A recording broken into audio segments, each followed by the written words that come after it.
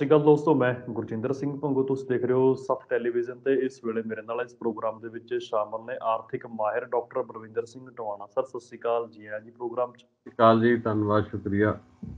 ਜੀ। ਦੋਸਤੋ ਇਹ ਗੱਲਬਾਤ ਇਸ ਗੱਲ ਦੇ ਉੱਪਰ ਆਧਾਰਿਤ ਹੈ ਕਿ ਪੰਜਾਬ ਦੇ ਵਿੱਚ ਜਿਹੜੇ ਭਾਰਤਮਾਲਾ ਪ੍ਰੋਜੈਕਟ ਦੇ ਤਹਿਤ ਜ਼ਮੀਨਾਂ ਦੇ ਵਿੱਚੋਂ ਵੱਡੇ ਵੱਡੇ ਰੋਡ ਕੱਢੇ ਜਾ ਰਹੇ ਨੇ। ਤੁਸੀਂ ਪਿਛਲੇ ਕੁਝ ਕੁ ਦਿਨਾਂ ਤੋਂ ਦੇਖਿਆ ਹੋਊਗਾ ਕਿ ਮੈਂ ਕਈ ਵੀਡੀਓਜ਼ ਬਣਾਈਆਂ ਨੇ ਇਹਦੇ ਉੱਪਰ ਕਿ ਜਿਹੜਾ ਭਾਰਤਮਾਲਾ ਪ੍ਰੋਜੈਕਟ ਹੈ ਇਸ ਦੇ ਕੀ ਰੂਟ ਨੇ ਕਿੱਥੇ ਕਿੱਥੇ ਇਸ ਨੇ ਨਿਕਲਣਾ ਤੇ ਕੀ ਇਹਦੀ ਕਾਸਟ ਹੈ। ਦੋਸਤੋ ਭਾਰਤਮਾਲਾ ਪ੍ਰੋਜੈਕਟ ਜਿਹੜੇ ਪਹਿਲਾਂ ਗੱਲ ਕਿ ਇਹਦੇ ਤਹਿਤ ਪੂਰੇ ਦੇਸ਼ ਦੇ ਵਿੱਚ ਵੱਡੇ ਵੱਡੇ ਨੈਸ਼ਨਲ ਹਾਈਵੇ ਐਕਸਪ੍ਰੈਸਵੇ ਬਣਾਏ ਜਾ ਰਹੇ ਨੇ। ਕਾਰਨ ਇਹ ਕਿ ਜਿਹੜਾ ਟ੍ਰੇਡ ਰੂਟ ਅਸੀਂ ਆਪਣੇ ਦੇਸ਼ ਦਾ ਜਿਹੜਾ ਵਪਾਰ ਹੈ ਵਪਾਰ ਉੱਪਰ ਲੈ ਕੇ ਆਣਾ ਦੇਸ਼ ਦੀ ਸਰਕਾਰ ਇਹ ਗੱਲ ਕਹਿੰਦੀ ਹੈ।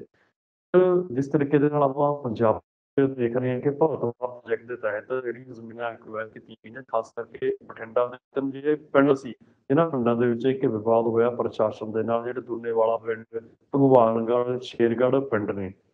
ਇਹਨਾਂ ਪਿੰਡਾਂ ਦਾ ਕਬਜ਼ਾ ਸੀ ਜ਼ਮੀਨ ਦਾ, ਪ੍ਰਸ਼ਾਸਨ ਵੱਲੋਂ ਲਿਆ। ਕਿਸਾਨ ਫਿਰ ਉਗਰਾਹ ਜਥੇਬੰਦੀ ਦੇ ਕਿਸਾਨ ਸੀ ਜਾਂ ਉਗਰਾਹ ਜਥੇਬੰਦੀ ਦੇ ਝੰਡੇ ਹੇਠ ਪਿੰਡਾਂ ਦੇ ਕਿਸਾਨ, ਉਸ ਜ਼ਮੀਨ ਦਾ ਮੁੜ ਕਬਜ਼ਾ ਲੈਣ ਲਈ ਅੱਗੇ ਵਧੇ।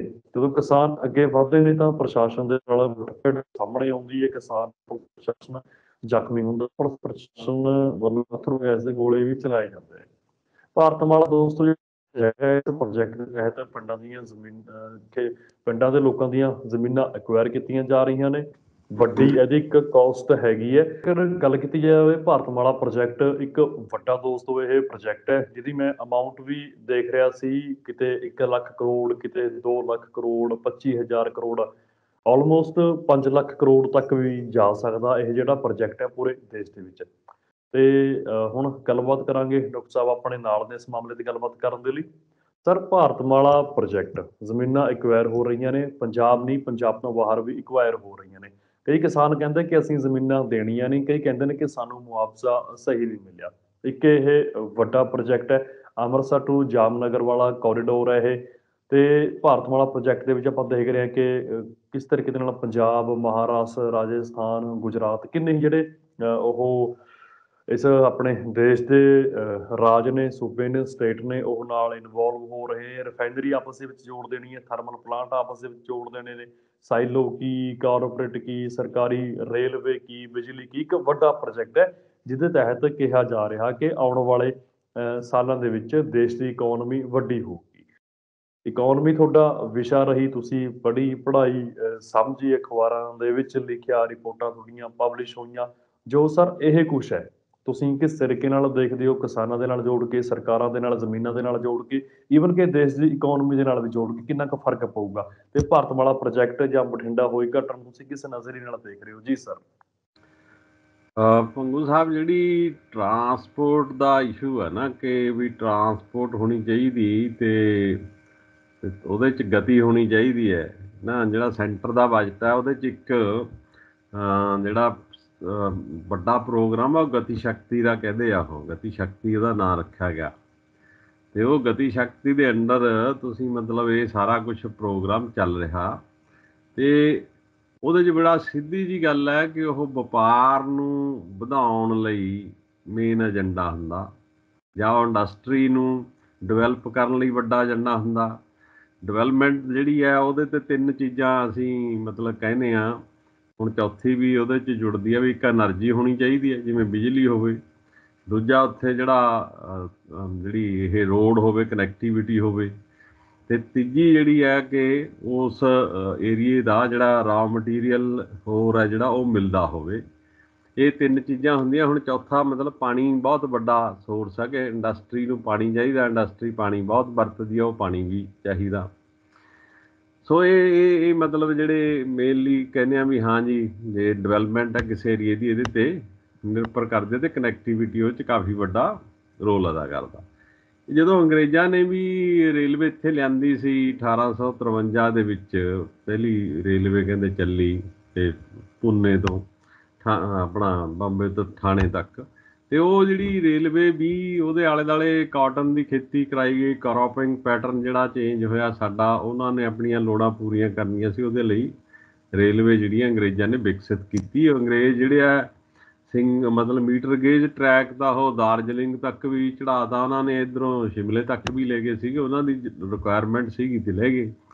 ਤੋ ਉਹ ਉਹਦੇ ਨਾਲ ਡਿਵੈਲਪਮੈਂਟ ਹੁੰਦੀ ਹੈ। ਸੋ ਇਸ ਲਈ ਜਿਹੜਾ ਇਹ ਭਾਰਤਮਾਲਾ ਜਾਂ ਟ੍ਰੇਨ ਦਾ ਨੈਟਵਰਕ ਆ, ਉਹ ਠੀਕ ਹੈ। ਉਹਦੇ ਚ ਮਤਲਬ ਜਿਹੜੀ ਇੱਕ ਡਿਵੈਲਪਮੈਂਟ ਦਾ ਉਹਨੂੰ ਮੰਨਿਆ ਜਾਂਦਾ ਸਾਰੇ ਕਿਤੇ ਹੀ ਥਰੂ ਆਊਟ ਦਾ ਵਰਲਡ ਕਿ ਠੀਕ ਹੈ ਜੀ। ਉਹਦੇ ਲਈ ਜਿਹੜੀ ਸਪੀਡ ਹੈ ਤੇ ਟਰਾਂਸਪੋਰਟ ਹੈ। ਟਰਾਂਸਪੋਰਟ ਦੀਆਂ ਜਿਹੜੀਆਂ ਫੈਸਿਲਿਟੀਆਂ ਨੇ ਉਹ ਚੰਗੀਆਂ ਹੋਣੀਆਂ ਚਾਹੀਦੀਆਂ, ਪਰ ਮੁੱਖ ਤੌਰ ਤੇ ਇਹ ਜਿਹੜੀ ਇੰਡਸਟਰੀ ਹੈ, ਉਹਦੇ ਲਈ ਹੋ ਰਿਹਾ। ਉਹਦੇ ਚ ਅਰਬਨਾਈਜੇਸ਼ਨ ਇੱਕ ਫੈਕਟਰ ਆਪਣੇ ਆਪ ਹੀ ਹੋ ਜਾਣੀ ਹੈ ਵੀ ਜਿੱਥੇ ਜਿੱਥੇ ਲੰਘਦਾ, ਉਹਦੇ ਨੇੜੇ ਨੇੜੇ ਤੁਸੀਂ ਦੇਖਿਆ ਹੋਊ ਜਿੱਧਰ ਨੂੰ ਬਾਈਪਾਸ ਲੰਘਦੇ ਆ, ਉਹ ਬਾਈਪਾਸ ਦੇ ਆਲੇ ਦੁਆਲੇ ਆਬਾਦੀ ਹੋ ਜਾਂਦੀ ਹੈ ਤੇ ਉਹ ਕੋਈ ਕਸਬਾ ਬਸ ਜਾਂਦਾ, ਕੋਈ ਸ਼ਹਿਰ ਉਧਰ ਨੂੰ ਵੱਧ ਜਾਂਦਾ, ਇਹ ਉਹਦਾ ਆਊਟਕਮ ਹੁੰਦਾ। ਪਰ ਇਹਦੇ 'ਚ ਮੁੱਖ ਰੂਪ 'ਚ ਆਪਾਂ ਜਦੋਂ ਇਹਨੂੰ ਖੇਤੀ ਨਾਲ ਜੋੜਦੇ ਹਾਂ ਕਿ ਖੇਤੀ ਨੂੰ ਕਿੰਨਾ ਕੁ ਫਾਇਦਾ ਹੁੰਦਾ। ਤੇ ਉਹ ਜੇ ਅਸੀਂ ਦੇਖੀਏ ਈਵਨ ਅੰਗਰੇਜ਼ਾਂ ਵੇਲੇ ਵੀ ਤੇ ਉਸ ਵੇਲੇ ਜਿਹੜੀ ਸਾਰਾ ਕੁਝ ਹੋਇਆ, ਉਹ 'ਚ ਕਿਸਾਨਾਂ ਨੂੰ ਕਿੰਨਾ ਕੁ ਫਾਇਦਾ ਹੋਇਆ। ਜਿਹੜਾ ਅੰਗਰੇਜ਼ਾਂ ਨੇ ਵੀ ਸਾਰਾ ਨੈਟਵਰਕ ਇਹ ਆਪਣਾ ਡਿਵੈਲਪ ਕਰਿਆ ਸੀ ਉਹਦਾ ਰੇਲਵੇ ਦਾ ਤੇ ਹੋਰ ਦਾ, ਤੇ ਕਿਸਾਨਾਂ ਦਾ ਬਹੁਤ ਸਾਰੀਆਂ ਲੜਾਈਆਂ ਉਦੋਂ ਲੜਨੀਆਂ ਪਈਆਂ। ਉਦੋਂ ਪਗੜੀ ਸਵਾਲ ਜੱਟਾ ਮੂਵਮੈਂਟ ਚੱਲੀ, ਹਾਂਜੀ? ਉਹ ਤੋਂ ਬਾਅਦ ਕਿੰਨੀਆਂ ਹੋਰ ਮੂਵਮੈਂਟ ਜਿਹੜੀਆਂ ਕਿਸਾਨਾਂ ਦੀਆਂ ਚੱਲੀਆਂ। ਤੇ ਕਿਸਾਨਾਂ ਲਈ ਤਾਂ ਜਦੋਂ ਮਾੜੀ ਜੀ ਕੋਈ ਗੱਲ ਹੁੰਦੀ ਆ, ਉਹਦੇ ਤੇ ਬੈਟਰਮੈਂਟ ਲੇਵੀ ਵੀ ਪੰਜਾਬ 'ਚ ਲੱਗੀ, ਹਾਂਜੀ? ਪ੍ਰਤਾਪ ਸਿੰਘ ਕਰੋਣਾ ਵੇਲੇ ਉਹ ਵੀ ਅਗਲਾ ਨੇ ਲੜਾਈ ਲੜੀ, ਉਹ 'ਚ ਸ਼ਹਾ- ਸ਼ਹਾਦਤਾਂ ਵੀ ਹੋਈਆਂ। ਔਰਤਾਂ ਦੀਆਂ ਸ਼ਹਾਦਤਾਂ ਵੀ ਹੋਈਆਂ। ਸੋ ਇਸ ਲਈ ਇਹ ਪ੍ਰੋਜੈਕਟ ਜਿਹੜਾ ਜਿਹਨੂੰ ਆਪਾਂ ਡਿਵੈਲਪਮੈਂਟ ਇਹ ਡਿਵੈਲਪਮੈਂਟ ਹੀ ਆਪਣੇ ਆਪ 'ਚ ਇੱਕ ਹੁਣ ਮੁੱਦਾ ਬਣ ਗਿਆ ਕਿ ਡਿਵੈਲਪਮੈਂਟ ਜਿਹੜੀ ਹੈ ਕਿ ਉਹ ਆ ਜਿਹੜਾ ਸਾਰੇ ਕਿਤੇ ਹੁਣ ਰੌਲਾ ਪੈ ਰਿਹਾ ਅੱਜ ਕੱਲ ਕਾਨਫਰੰਸ ਆਫ ਪਾਰਟੀਜ਼ 29 ਦਾ। ਉਹਦੀਆਂ ਰੋਜ਼ ਖਬਰਾਂ ਆ ਰਹੀਆਂ ਵੀ ਕੋਈ ਉਹਨੂੰ ਪੈਸੇ ਦੇ ਰਿਹਾ, ਕੋਈ ਪੈਸੇ ਨਹੀਂ ਦੇ ਰਿਹਾ। ਉਹ ਜੇ ਜਿਹੜੇ ਡਿਵੈਲਪਡ ਕੰਟਰੀਜ਼ ਨੇ, ਪਹਿਲਾਂ ਟਰੰਪ ਸਾਹਿਬ ਪੈਰਿਸ ਵਾਲੀ ਕਾਨਫਰੰਸ ਤੋਂ ਭੱਜੇ ਗਏ ਸੀ, ਮੈਂ ਨਹੀਂ ਪੈਸੇ ਦਿੰਦਾ, ਕਿ ਹੁੰਦਾ এনवायरमेंट ਕੋਈ ਇਸ਼ੂ ਨਹੀਂ ਹੈ। ਹੁਣ ਉਹ ਵਾਰ-ਵਾਰ ਆਈ ਜਾਂਦਾ ਵੀ এনवायरमेंट ਹੁਣ ਬਹੁਤ ਵੱਡਾ ਇਸ਼ੂ ਬਣ ਗਿਆ। ਜਿਵੇਂ ਦਾ ਵੈਦਰ ਕੰਡੀਸ਼ਨ ਹੋ ਰਹੀ ਹੈ ਹੜ ਆ ਰਹੇ ਹੈ, ਹੋਰ ਆ ਰਹੇ ਹੈ। ਸੋ ਇਹ ਵੀ ਡਿਵੈਲਪਮੈਂਟ ਵੀ ਇੱਕ ਵੀ ਜਿਹੜੀ ਇੰਡਸਟਰੀਅਲ ਡਿਵੈਲਪਮੈਂਟ ਆ ਤੁਹਾਡੀ, ਕੀ ਉਹ ਹਿਊਮਨ ਡਿਵੈਲਪਮੈਂਟ ਵੱਲ ਨੂੰ ਲੈ ਕੇ ਜਾਂਦੀ ਹੈ? ਕੀ ਉਹ ਕਿਸਾਨਾਂ ਤੇ ਖੇਤ ਮਜ਼ਦੂਰਾਂ ਦਾ ਭਲਾ ਕਰਦੀ ਹੈ? ਇਹ ਕਾਫੀ ਵੱਡੇ ਇਸ਼ੂ ਹੈਗੇ ਆ। ਸਾਡਾ ਹੰਗਰ ਇੰਡੈਕਸ ਜਿਹੜਾ 105 ਤੇ ਹੈ ਹਨਾ ਸਾਡੀ ਜਿਹੜੀ ਪਾਵਰਟੀ ਹੈ ਜ- ਅਸੀਂ 80000 80 ਕਰੋੜ ਬੰਦਿਆਂ ਨੂੰ 5 ਕਿਲੋ ਅਨਾਜ ਦੇ ਕੇ ਸਾਰ ਰਹੇ ਹਾਂ। ਇਹ ਇਸ਼ੂ ਆਪਣੇ ਥਾਂ ਤੇ ਹੈ ਤੇ ਇਹ ਠੀਕ ਹੈ ਕਿ ਅਰਥ ਸ਼ਾਸਤਰ ਦੇ ਵਿੱਚ ਮੰਨਿਆ ਜਾਂਦਾ, ਹਾਂ ਜੀ ਟਰਾਂਸਪੋਰਟ ਜਿਹੜੀ ਆ ਉਹਦੇ ਲਈ ਕਨੈਕਟੀਵਿਟੀ ਓਵਰਹੈੱਡ ਕੈਪੀਟਲ ਅਸੀਂ ਇਹਨੂੰ ਕਹਿੰਦੇ ਆ ਪਰ ਪਹਿਲਾਂ ਇਹ ਸਰਕਾਰਾਂ ਬਣਾਉਂਦੀਆਂ ਸੀ ਰੋਡਸ ਤੇ ਸਰਕਾਰਾਂ ਬਣਾਉਂਦੀਆਂ ਸੀ। ਉਹ ਫਿਰ ਸਰਕਾਰ ਜਿਹੜੀ ਆ, ਉਹਨੇ ਕੁ ਪੈਸੇ ਲੈ ਕੇ ਫ੍ਰੀ ਲੋਕ ਲੰਘਦੇ ਸੀ। ਹੁਣ ਤੁਸੀਂ ਇਹ ਇਹ ਇਹ ਬਣ ਗਿਆ ਕਿ ਵੱਡੇ ਵੱਡੇ ਜਿਹੜੇ ਰੋਡ ਮਤਲਬ 6 ਲੇਨ ਵਾਲੇ 4 ਲੇਨ ਵਾਲੇ, ਜਿੰਨੇ ਬਣ ਰਹੇ ਆ, ਇਹ ਤਾਂ ਪ੍ਰਾਈਵੇਟ ਕੰਪਨੀਆਂ ਨੂੰ ਦਿੱਤੇ ਜਾ ਰਹੇ ਆ ਨਾ। ਉਹਦੇ 'ਚ ਲੱਖਾਂ ਕਰੋੜਾਂ ਦਾ ਪ੍ਰੋਜੈਕਟ ਹੈ ਬੈਂਕਾਂ ਤੋਂ ਲੋਨ ਲਿਆ ਵਾ ਤੇ ਜ਼ਮੀਨ ਐਕਵਾਇਰ ਕਰਕੇ ਸਰਕਾਰ ਦੇਊਗੀ ਉਹਨਾਂ ਨੂੰ। ਹਾਂਜੀ ਸਰਕਾਰ ਦੀ ਕਹਿੰਦਾ ਜੀ, ਉਹ ਜ਼ਮੀਨ ਤਾਂ ਸਰਕਾਰ ਦੇ ਨਾਂ ਹੋਊਗੀ। ਪਰ ਹੋਊਗੀ ਉਹ ਪ੍ਰਾਈਵੇਟ ਕਿਉਂਕਿ ਉਹ ਉਹਦੇ ਕਬਜ਼ੇ ਥੱਲੇ ਹੋਊਗੀ ਪ੍ਰਾਈਵੇਟ ਕੰਪਨੀ ਦੇ। ਤੇ ਪ੍ਰਾਈਵੇਟ ਕੰਪਨੀ ਦੇ ਕਬਜ਼ੇ ਥੱਲੇ ਹੋਊਗੀ, ਮੈਂ ਵੀ ਅੱਜ ਮਾਨਸਾ ਤੋਂ ਆ ਰਿਹਾ ਸੀਗਾ ਤੇ ਟੋਲ ਵਾਲੇ ਕਾਊਂਟਰ ਤਾਂ ਬਣ ਗਏ ਹਰ ਇੱਕ ਕਿਤੇ। ਹਾਂਜੀ ਉਹ ਕਹਿੰਦਾ ਦਿੱਲੀ ਇੱਧਰ ਨੂੰ ਜਾਣਾ, ਕਟੜਾ ਇੱਧਰ ਨੂੰ ਜਾਣਾ ਤੇ ਇੱਥੋਂ ਚੜੋ ਤੇ ਆ ਨਾ 500 ਮੀਟਰ ਤੇ ਜੀ ਟੋਲ ਦਾ ਨਾਲ ਲੱਗਿਆ ਵਾ। ਹਰ ਟੋਲ ਵੀ ਮੋਟਾ ਤਕੜਾ। ਤੇ ਉਹ ਬੱਸਾਂ ਤੇ ਵੀ ਲੱਗਣਾ, ਜਿਹੜੀ ਬੱਸ ਚੜ੍ਹਨੀ, ਬੱਸ ਵਾਲੀ ਸਵਾਰੀ ਉਹਦੇ ਤੇ ਵੀ ਲੱਗਣਾ। ਤੇ ਉਹ ਜਿਹੜਾ ਪ੍ਰਾਈਵੇਟ ਕੰਪਨੀਆਂ ਨੇ, ਉੱਥੋਂ ਵੀ ਪੈਸੇ ਕਮਾਉਣੇ ਆ, ਉਹ ਵੀ ਉਹਨਾਂ ਕ- ਉਹ ਵੱਡੇ ਘਰਾਣਿਆਂ ਦੀਆਂ ਕਾਰਪੋਰੇਟ ਦੀਆਂ, ਤੇ ਉਹ ਜਿਹੜੀ ਆਵਾ- ਇੱਥੋਂ ਸਮਾਨ ਚੱਕਣਾ ਕਿ ਹੱਬ ਬਣ ਗਈ, ਇੱਥੇ ਕੋਈ ਜਿਹੜੀ ਚੰਡੀਗੜ੍ਹ ਦੇ ਨੇੜੇ, ਉੱਥੋਂ ਵੀ ਕਈ ਰੋਡ ਕੱਢੀਆਂ ਜਾ ਰਹੀਆਂ ਕਨੈਕਟੀਵਿਟੀ ਬਣਾਈ ਜਾ ਰਹੀ ਹੈ, ਵੀ ਉੱਥੇ ਇੱਕ ਹੱਬ ਬਣਾਈ ਜਾ ਰਹੀ ਹੈ ਟ੍ਰੇਡ ਦੀ। ਤੇ ਦੂਜੇ ਪਾਸੇ ਟ੍ਰੇਡ ਦੀ ਹੱਬ ਇੱਕ ਇੱਧਰ ਵੀ ਬਣੇਗੀ, ਜਿਹੜਾ ਕਿ ਇਨਫੋਰਮੇਸ਼ਨ ਮਿਲ ਰਹੀ ਹੈ ਕਿ ਤਰਨਤਾਰਨ ਵਾਲੀ ਸਾਈਡ ਵੀ ਕੋਈ ਹੱਬ ਬਣੇਗੀ। ਸੋ ਇਹ ਇਹ ਟ੍ਰੇਡ ਨੂੰ ਫਾਸਟ ਕਰਨ ਲਈ, ਇਹ ਠੀਕ ਹੈ ਵੀ ਕਾਰਾਂ ਵਾਲਿਆਂ ਨੂੰ ਬੈਨੀਫਿਟ ਹੋ ਜੂ, ਛੇਤੀ ਪਹੁੰਚ ਜਾਓ ਟਾਲ ਦੇ ਕੇ ਪੈਸੇ ਦੇ ਕੇ, ਬੱਸ ਵੀ ਛੇਤੀ ਚਲੀ ਜਾਊ ਪੈਸੇ ਦੇ ਕੇ। ਤੇ ਉਹ ਜਿਹੜੇ ਹੁਣ ਕਿਸਾਨ ਹੈ, ਉਹਨਾਂ ਨੂੰ ਕਿੰਨਾ ਕੁ ਫਾਇਦਾ ਹੋਣਾ?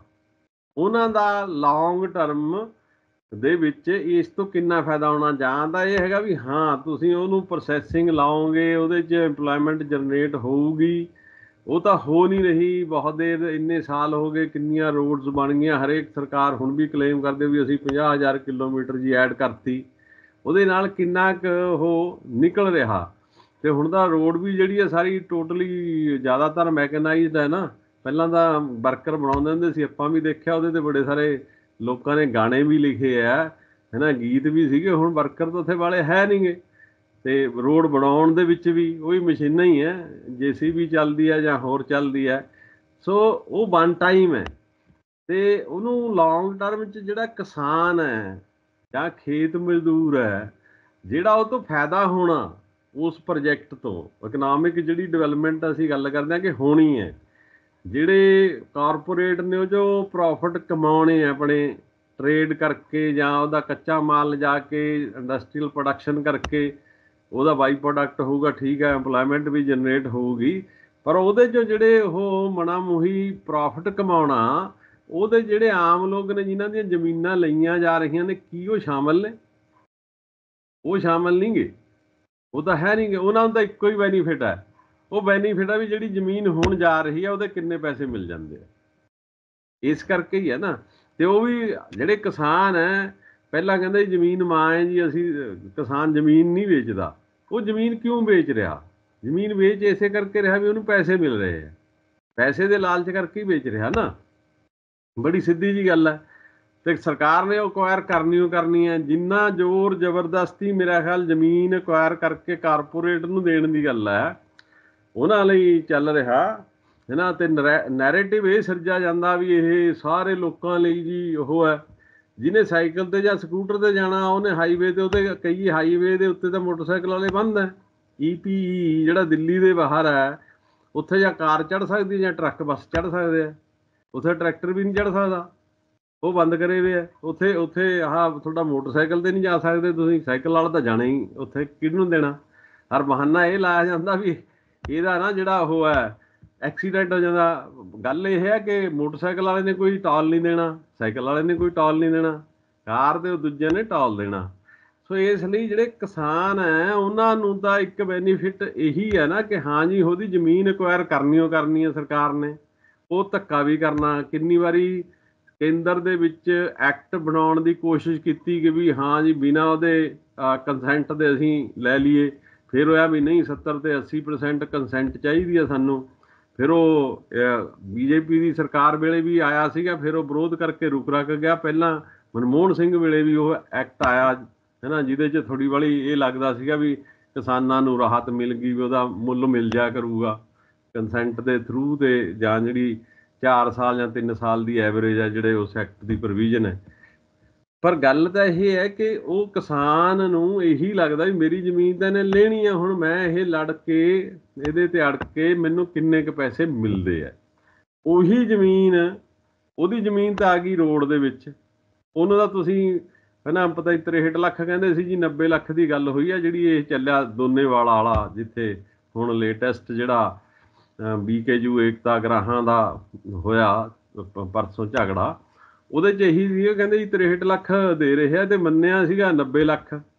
ਉਹ ਹੁਣ ਉਹ ਜਿਹੜੇ ਕਿਸਾਨ ਦੀ ਜ਼ਮੀਨ ਉਹਦੇ ਵਿੱਚ ਆ ਗਈ। ਉਹਦਾ ਹੋ ਗਿਆ 90 ਲੱਖ। ਪਰ ਜਿਹਦੀ ਰਹੇਗੀ ਉਹਦਾ 2-4 ਸਾਲ ਨੂੰ ਜਦੋਂ ਪੂਰੀ ਡਿਵੈਲਪਮੈਂਟ ਹੋ ਗਈ, ਹੋ ਸਕਦਾ 2 ਕਰੋੜ ਦਾ ਕਿੱਲਾ ਹੋ ਜਾਏ ਉਹਦੇ ਨਾਲ ਹੀ।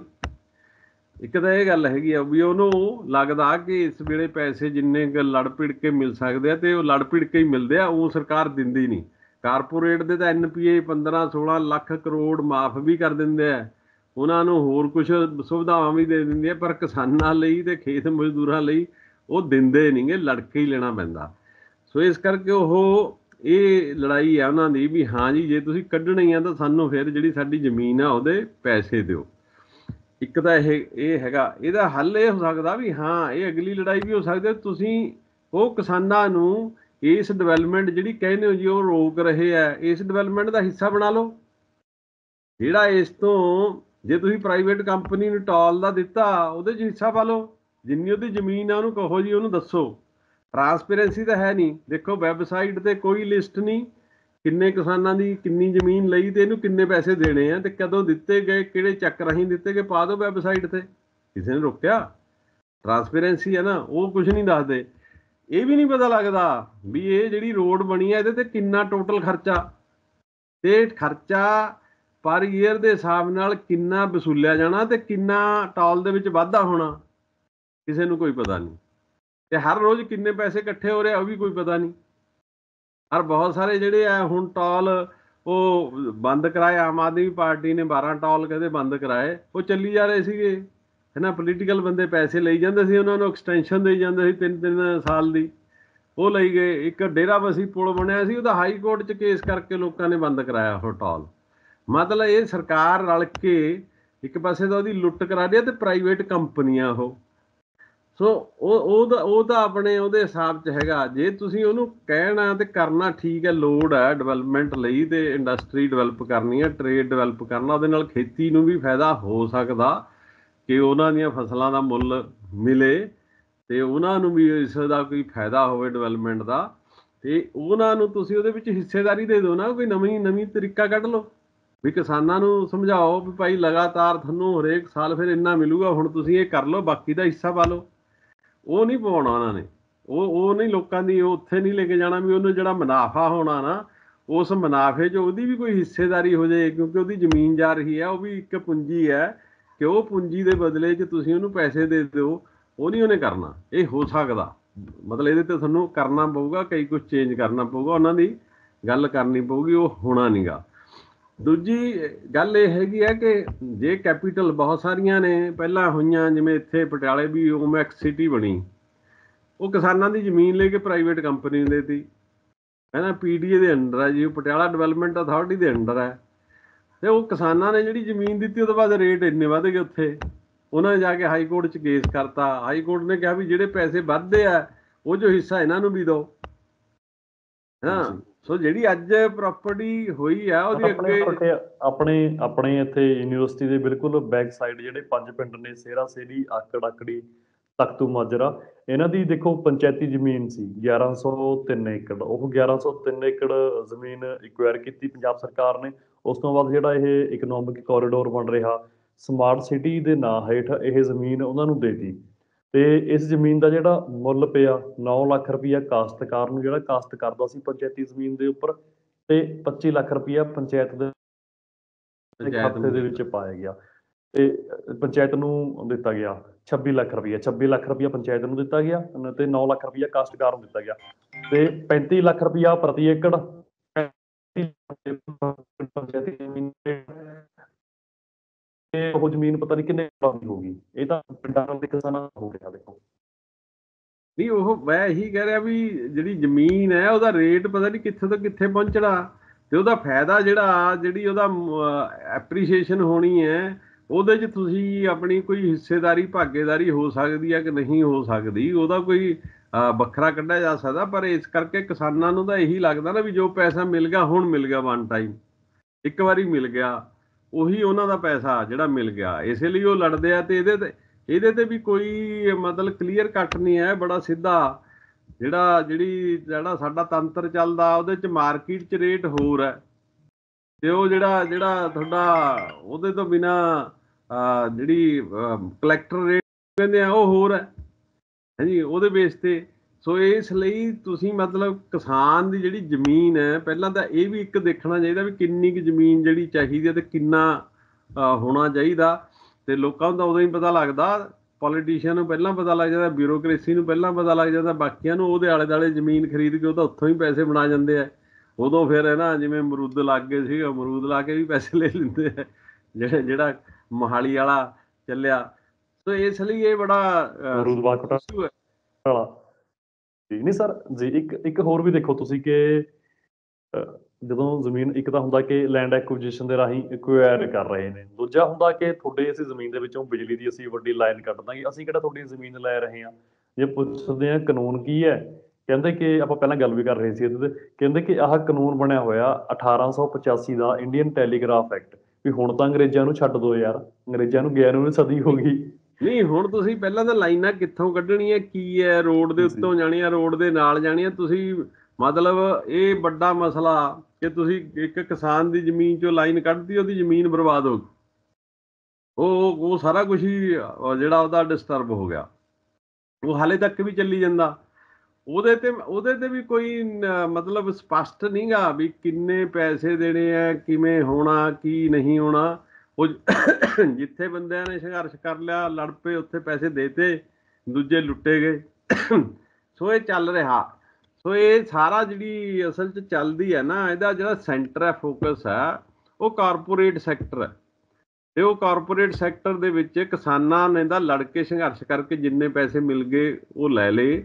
ਤੇ ਉਹਨਾਂ ਨੂੰ ਕਿਹਾ ਜਾ ਸਕਦਾ ਵੀ ਹਾਂਜੀ ਡਿਵੈਲਪਮੈਂਟ ਲਈ ਨਾ ਇਹ ਹੋ ਰਿਹਾ ਤੇ ਡਿਵੈਲਪਮੈਂਟ ਰੁਜ਼ਗਾਰ, ਬੇਰੁਜ਼ਗਾਰੀ ਕਰਕੇ ਸਾਡੇ ਬੱਚੇ ਬਾਹਰ ਜਾ ਰਹੇ ਹੈ ਹਾਂਜੀ ਐਜੂਕੇਸ਼ਨ ਸਾਨੂੰ ਮਿਲ ਨਹੀਂ ਰਹੀ, ਬਹੁਤ ਮਹਿੰਗੀ ਹੈ ਸਿੱਖ, ਸਿਹਤ ਸੇਵਾਵਾਂ ਦਾ ਬੁਰਾ ਹਾਲ ਆ, ਪੀਣ ਵਾਲਾ ਪਾਣੀ ਸਾਡਾ ਚਲਾ ਗਿਆ ਤੇ ਡਿਵੈਲਪਮੈਂਟ ਦੇ ਨਾਂ ਤੇ ਜਿਹੜਾ ਜਿਹੜਾ ਸਾਡੀ ਹਿਊਮਨ ਡਿਵੈਲਪਮੈਂਟ ਇੰਡੈਕਸ ਆ, ਉਹ 'ਚ ਅਸੀਂ 132 31 32ਵੇਂ ਨੰਬਰ ਤੇ ਬੈਠੇ ਆ। ਤੇ ਉਹ ਕਿਹਾ ਜਾ ਰਿਹਾ ਤੇ ਕਾਰਪੋਰੇਟ ਜਿਹੜੀ ਇਨਕੁਐਲਿਟੀ ਹੈ ਇਹਦੇ ਨਾਲ ਵੱਧ ਰਹੀ, ਜਿਹੜਾ ਜਿਹੜਾ ਪਾੜਾ, ਉਹ ਇੰਨਾ ਪਾੜਾ ਵੱਧ ਰਿਹਾ ਕਿ ਜਿਹੜੇ ਜਿਹੜੇ 16 ਪਰਿਵਾਰ ਨੇ ਉਹ 40% ਵੈਲਥ ਜਿਹੜੀ ਹੈ ਇੰਡੀਆ ਦੀ ਲਈ ਬੈਠੇ ਆ ਉਹਨਾਂ ਨੂੰ ਕਹਿੰਦੇ ਨਹੀਂ, ਪਰ ਉਹ ਉਹ ਪਿੱਛੇ ਹੈ, ਉਹ ਨਹੀਂ ਲੜਦੇ ਪੁਲਿਸ ਜਿਹੜੀ ਆ ਉਹ ਲੋਕਾਂ ਨਾਲ ਲੜ ਰਹੀ ਆ ਉਹਨਾਂ ਲਈ ਕਾਰਪੋਰੇਟ ਲਈ। ਤੇ ਵੈਸਟ ਬੰਗਾਲ ਦਾ ਨੰਦੀਗ੍ਰਾਮ ਵੀ ਤਾਂ ਇਹੀ ਸੀਗਾ ਨਾ, ਉਹਦੇ ਪਿੱਛੇ ਵੈਸਟ ਬੰਗਾਲ ਦੀ ਸਰਕਾਰ ਹਾਰ ਗਈ। ਉਹਦੇ ਤੋਂ ਬਾਅਦ ਕਿੰਨੇ ਥਾਵਾਂ ਤੇ ਝਗੜੇ ਹੋਏ? ਪੰਜਾਬ ਵਾਲੇ ਲੋਕ ਆ ਜਿਹੜੇ ਲੜ ਕੇ ਆਪਣੇ ਪੈਸੇ ਲੈ ਲੈਂਦੇ ਆ। ਸੋ ਇਸ ਲਈ ਹੁਣ ਉਹਦੇ ਚ ਉਦੋਂ ਡਿਵੈਲਪਮੈਂਟ ਦੇ ਨਾਂ ਤੇ ਵੈਸਟ ਬੰਗਾਲ ਨੂੰ ਬਦਨਾਮ ਵੀ ਕੀਤਾ ਗਿਆ। ਫਿਰ ਉਹਨੂੰ ਪੈਸੇ ਦੇ ਕੇ 1 ਰੁਪਏ ਦਾ 1 ਏਕੜ ਟਾਟਾ ਮੋਟਰਸ ਨੂੰ ਗੁਜਰਾਤ ਲਿਆ ਕੇ ਵੜ ਲਿਆ। ਕਿੰਨੀਆਂ ਹੁਣ ਇੰਡਸਟਰੀਆਂ ਉੱਥੋਂ ਦੀਆਂ ਗੁਜਰਾਤ ਲੈਂਦੀਆਂ ਤੇ ਉਹਨਾਂ ਨੂੰ ਤੁਸੀਂ 1 ਰੁਪਏ 'ਚ ਦੇਈ ਜਾਓ ਜ਼ਮੀਨ। ਜੇ ਕਿਸਾਨ ਦੀ ਹੈ, ਕਿਸਾਨ ਨੂੰ ਤੁਸੀਂ ਪੈਸੇ ਵੀ ਨਾ ਦਿਓ ਤੇ ਉਹਨੂੰ ਬਾਉਣ ਵੀ ਨਾ ਦਿਓ ਧੱਕੇ ਨਾਲ। ਕਿਹਦੀ ਜਿਹੜੀ ਜਿਹੜੀ ਜਾਇਦਾਦ ਆ ਉਹ ਕਿਹਦੀ ਜਿਹੜੀ ਅਕਵਾਇਰ ਹੁੰਦੀ ਹੈ? ਧੱਕੇ ਨਾਲ ਕਿਸਾਨ ਦੀ।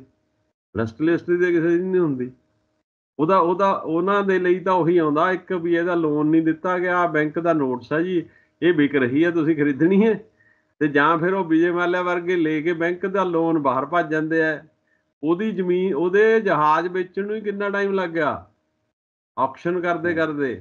ਫਿਰ ਇੱਕ ਹੋਰ ਕੱਢਿਆ ਵਾ ਵੀ ਹਾਂ ਜੀ ਕੰਪਨੀ ਦਾ ਦਿਵਾਲਾ ਨਿਕਲਣਾ ਨੈਸ਼ਨਲ ਜਿਹੜਾ ਨਾ ਕੰਪਨੀ ਦਾ ਟ੍ਰਿਬਿਊਨਲ ਬਣਾਇਆ ਵਾ। ਉਹ ਟ੍ਰਿਬਿਊਨਲ 'ਚ ਕੇਸ ਪਾ ਦੋ ਉੱਥੇ।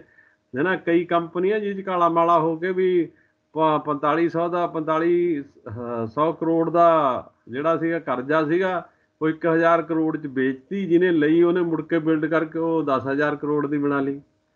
ਸੋ ਇਸ ਲਈ ਕਿਸਾਨੀ ਜਿਹੜੀ ਹੈ, ਉਹਨੂੰ ਇਹ ਲੱਗਦਾ, ਜਿਹੜਾ ਮੈਂ ਸਮਝਦਾ, ਉਹਨੂੰ ਲੱਗਦਾ ਵੀ ਜ਼ਮੀਨ ਤਾਂ ਅਕਵਾਇਰ ਗਈ, ਜ਼ਮੀਨ ਜਾ ਰਹੀ ਹੈ, ਜਿੰਨੇ ਪੈਸੇ ਮਿਲ ਸਕਦੇ ਆ, ਉਹ ਸਾਨੂੰ ਮਿਲ ਜਾਣ। ਉਹ ਹੁਣ ਜ਼ਮੀਨਾਂ ਦੇ ਕਰਕੇ ਉਹ ਉੱਥੇ ਕੋਈ ਬੰਦੇ ਅੱਗੇ ਜ਼ਮੀਨ ਲੈ ਲੈਂਦੇ ਆ, ਉਹ ਬਚ ਜਾਂਦੇ ਆ। ਨਹੀਂ ਤਾਂ ਕਈ ਵਾਰੀ ਸਾਰੀ ਪਰਿਵਾਰ ਪੈਸੇ ਲੈਣ ਤੋਂ ਬਾਅਦ ਵੀ ਬਰਬਾਦ ਹੋ ਜਾਂਦਾ। ਅਸੀਂ ਤਾਂ ਇੱਕ ਸਟੱਡੀ ਜਿਹੜੀ ਹੈ ਲਵਲੀ ਯੂਨੀਵਰਸਿਟੀ ਦੀ ਕੀਤੀ, ਜਿਨ੍ਹਾਂ ਨੇ 1000 ਕਰੋੜ ਜ਼ਮੀਨ ਲਈ ਵੀ ਆ ਹੁਣ। ਉਹਨਾਂ ਉਹ ਲਵਲੀ ਯੂਨੀਵਰਸਿਟੀ 'ਚ ਉਹਨਾਂ ਉਹਨਾਂ ਪਰਿਵਾਰਾਂ ਦਾ ਕੋਈ ਬੱਚਾ ਨਹੀਂ ਪੜਦਾ ਉੱਥੇ ਲਵਲੀ ਯੂਨੀਵਰਸਿਟੀ 'ਚ। ਤੇ ਉਹ ਜ਼ਮੀਨ ਵੇਚ ਕੇ ਕੁਝ ਬੱਚੇ ਬੰਦੇ ਸੈਟਲ ਹੋ ਗਏ ਬਾਕੀ ਦੇ ਪੈਸੇ ਖੁਰਦ-ਬੁਰਦ ਹੋ ਗਏ ਪਰਿਵਾਰ ਜਿਹੜੇ ਆ ਉਹ ਬਰਬਾਦ ਹੋ ਗਏ। ਉਹ ਰੌਲਾ ਹੈਗਾ ਵੀ ਤੁਸੀਂ ਜ਼ਮੀਨ ਤਾਂ ਅਕਵਾਇਰ ਕਰਦੇ ਹੋ ਉਹ ਜਿਹੜੇ ਜ਼ਮੀਨ ਅਕਵਾਇਰ ਕਰਨ ਵਾਲਾ ਠੀਕ ਆ ਉਹਨੂੰ ਪੈਸੇ ਦੇਗੀ ਤਾਂ ਸਰਕਾਰ ਦੀ ਜ਼ਿੰਮੇਵਾਰੀ ਨਹੀਂ ਨਾ ਖਤਮ ਹੁੰਦੀ। ਤੁਸੀਂ ਉਹਨਾਂ ਨੂੰ ਜਿਹੜਾ ਉਹਦਾ ਗੁਜ਼ਰ ਬਸਰ ਹੋਵੇ ਅੱਗੇ ਚੱਲੇ ਉਹਨੂੰ ਕਿਸੇ ਡਿਵੈਲਪਮੈਂਟ ਜਿਹਦੀ ਗੱਲ ਕਰਦੇ ਉਹਦਾ ਹਿੱਸੇਦਾਰ ਤਾਂ ਬਣਾਓ ਨਾ ਅੱਗੇ ਜਾ ਕੇ। ਸਿੱਧੇ ਰੂਪ ਚ ਕਿਉਂਕਿ ਉਹਦੇ ਤਾਂ ਜ਼ਮੀਨ ਤੁਸੀਂ ਅਕਵਾਇਰ ਕਰ ਲਈ ਹੈ ਠੀਕ ਹੈ ਪੈਸੇ ਦੇਤੇ ਪੈਸੇ ਦੇ ਕੇ ਉਹਦਾ ਰਿਗੜਾ ਤੁਸੀਂ ਕੋਈ ਉਹਨੂੰ ਐਡਵਾਈਸ ਜਾਂ ਕੋਈ ਸਿਸਟਮ ਐਸਾ ਵੀ ਕਰੋ ਵੀ ਉਹਦੀ ਇਨਕਮ ਜਿਹੜੀ ਹੈ ਵੱਧ ਸਕੇ ਜਾਂ ਘੱਟੋ ਘੱਟ ਉਨੀ ਰਹਿ ਸਕੇ ਜਿੰਨੀ ਪਹਿਲਾਂ ਸੀਗੀ। ਸੋ ਕੋਈ ਜਿਹੜੀ ਡਿਵੈਲਪਮੈਂਟ ਹੋ ਰਹੀ ਹੈ ਉਹਦੇ ਚ ਉਹਨੂੰ ਜਿਹੜੀ ਇੰਡਸਟਰੀਅਲ ਪ੍ਰੋਸੈਸ ਹੈ ਉਹਦੇ ਵਿੱਚ ਕੋਈ ਹਿੱਸੇਦਾਰੀ ਮਿਲ ਸਕਦੀ ਹੈ। ਉਹਦੇ ਚ ਉਹਨੂੰ ਆਮਦਨ ਚੋਂ ਕੋਈ ਹਿੱਸਾ ਮਿਲ ਸਕਦਾ। ਕੋਈ ਸਿਸਟਮ ਤਾਂ ਕਰੋ ਨਾ ਨਿਰਾ ਪ੍ਰੋ ਕਾਰਪੋਰੇਟ ਟਾਈਪ ਹੀ ਚੱਲੋ। ਬਿਲਕੁਲ। ਕਿਸਾਨ ਕਿਸਾਨ ਤਾਂ ਇਹਨਾਂ ਚੀਜ਼ਾਂ ਨੂੰ ਸਮਝਦਾ ਵੀ ਨਹੀਂ ਹੈ ਤੇ ਨਾ ਕਿਸਾਨ ਦੀ ਉਸ ਲੈਵਲ ਦੀ ਐਜੂਕੇਸ਼ਨ ਹੈ ਕਿ ਸਮਝ ਸਕੇ ਉਹ ਹੋ ਕੀ ਰਿਹਾ।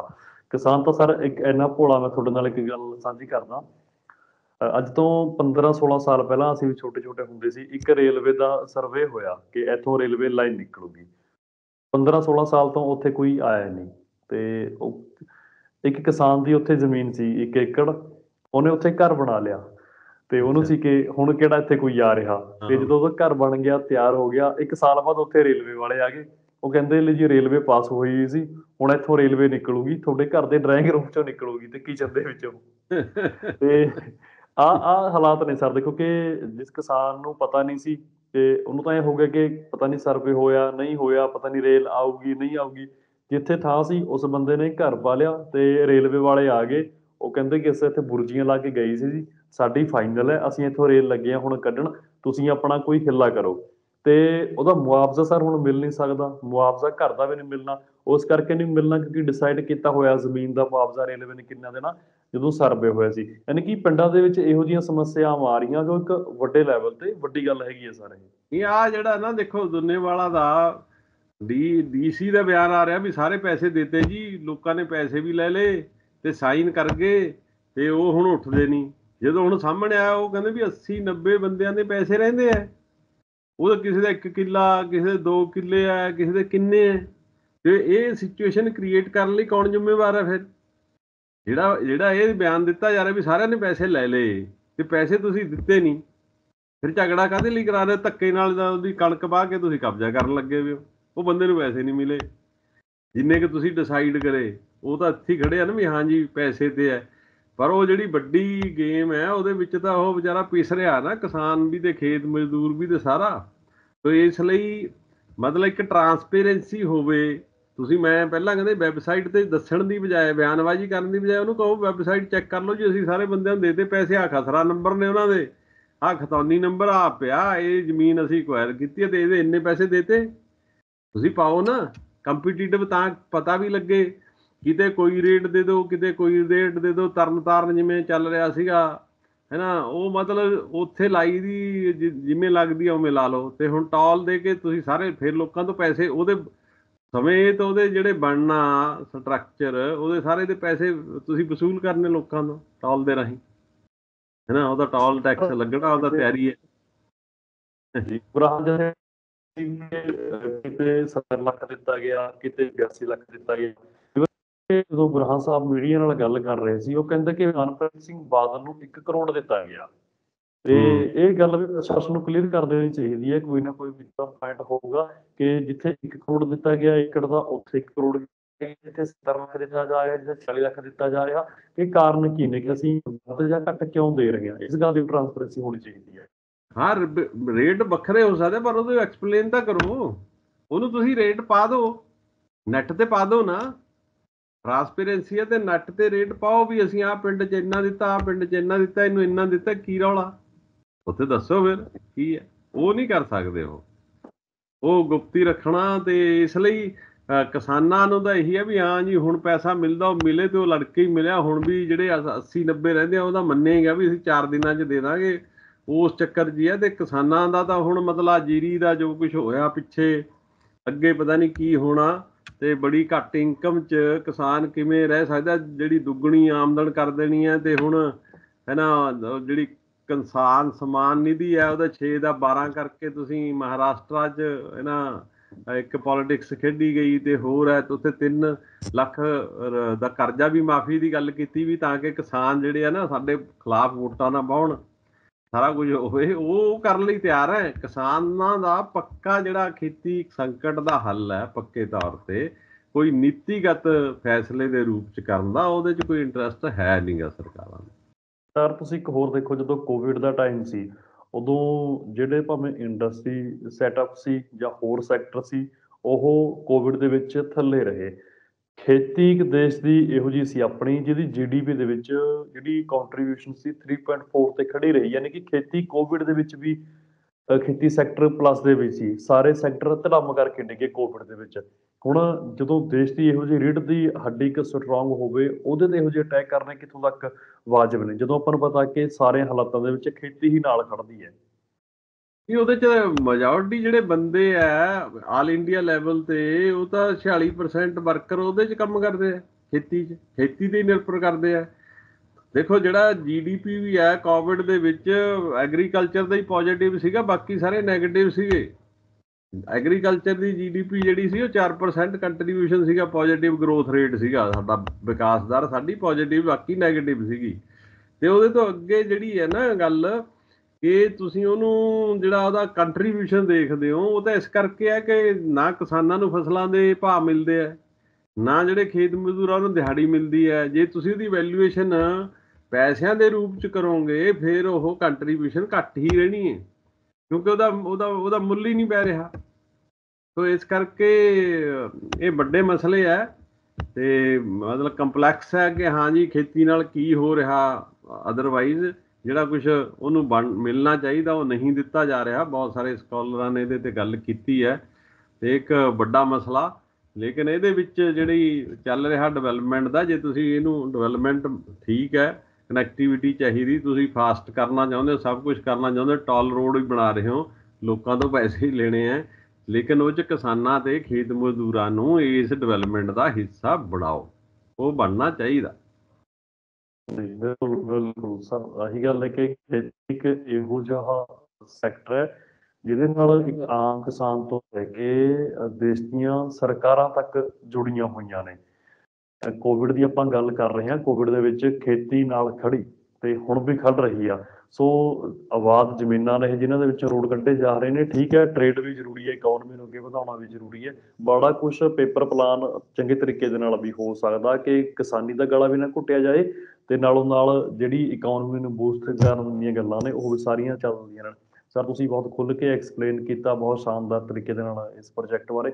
ਬਹੁਤ ਬਹੁਤ ਸ਼ੁਕਰੀਆ ਤੁਹਾਡਾ ਧੰਨਵਾਦ। ਥੈਂਕ ਯੂ ਜੀ, ਦੋਸਤੋ ਮੇਰੇ ਨਾਲ ਜੁੜੇ ਹੋਏ ਸੀ ਆਰਥਿਕ ਮਾਹਿਰ ਡਾਕਟਰ ਬਲਵਿੰਦਰ ਸਿੰਘ ਟਵਾਣਾ ਇੱਕ ਅਹਿਮ ਵਿਸ਼ੇ ਤੇ ਗੱਲਬਾਤ ਕੀਤੀ। ਤੁਸੀਂ ਆਪਣੀ ਫੀਡਬੈਕ ਸਾਨੂੰ ਹਰ ਵਾਰ ਜਿਹੜਾ ਕਮੈਂਟ ਬਾਕਸ ਉੱਤੇ ਭੇਜ ਸਕਦੇ ਹੋ। ਤੁਸੀਂ ਇਹਨਾਂ ਮਾਮਲਿਆਂ ਬਾਬਤ ਕੀ ਆਪਣੇ ਵਿਚਾਰ ਰੱਖਦੇ ਹੋ। Thank you